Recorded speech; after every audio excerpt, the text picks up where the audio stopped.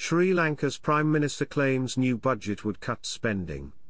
Ranil Wickremesinghe, Sri Lanka's new Prime Minister, announced on Tuesday that he would publish an interim budget in six weeks, reducing infrastructure projects and redirecting funding to a two-year rescue package for the crisis-hit island country.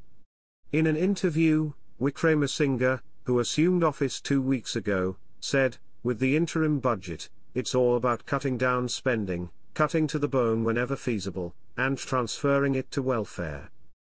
As the government cuts gasoline subsidies and prints more money to keep the economy afloat, inflation in the 22 million strong nation, which is experiencing its worst economic crisis since independence, may reach to 40% annually, he warned.